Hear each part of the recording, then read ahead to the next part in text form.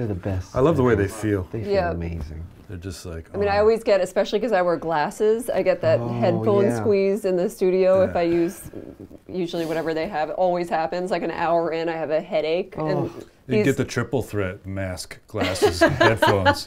exactly. Like the, your ears are like, what the fuck? Yeah. Man, I'm supposed supposed to be doing one job. and these don't do it. I don't get the headphone squeeze with these.